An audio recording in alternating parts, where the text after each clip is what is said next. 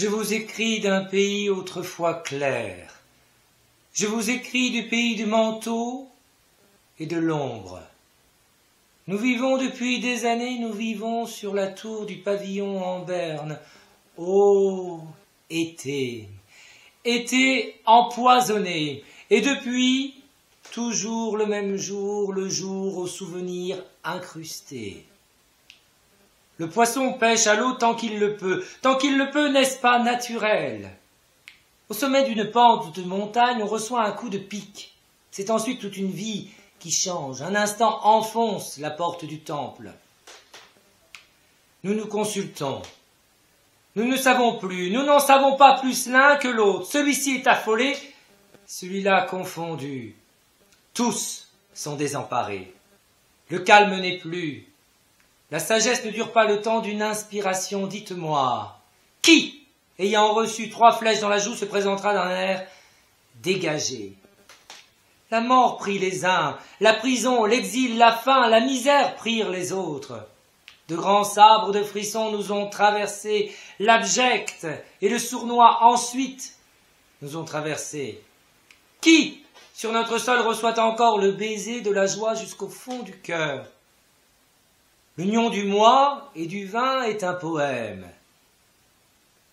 L'union du moi et de la femme est un poème. L'union du ciel et de la terre est un poème. Mais le poème que nous avons entendu a paralysé notre entendement.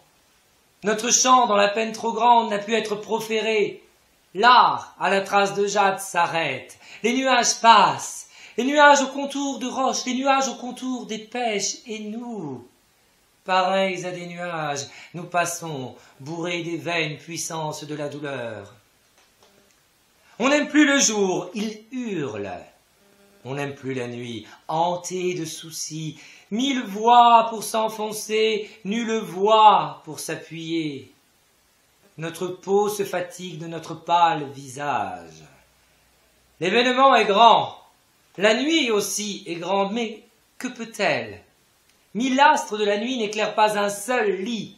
Ceux qui savaient ne savent plus. Ils sautent avec le train, ils roulent avec la roue.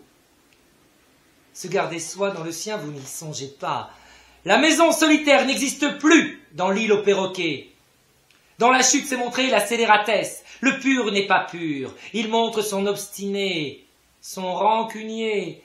Certains se manifestent dans les glapissements, d'autres se manifestent dans l'esquive, mais la grandeur ne se manifeste pas. L'ardeur en secret, l'adieu à la vérité, le silence de la dalle, le cri du poignardé, l'ensemble du repos glacé des sentiments qui brûlent a été notre ensemble, et la route du chien perplexe, notre route. Nous ne nous sommes pas reconnus dans le silence, nous ne nous sommes pas reconnus dans les hurlements, ni dans nos grottes, ni dans les gestes étrangers, Autour de nous, la campagne est indifférente et le ciel sans intention. Nous nous sommes regardés dans le miroir de la mort. Nous nous sommes regardés dans le miroir du sceau insulté, du sang qui coule, de l'élan décapité, dans le miroir charbonneux des avanies.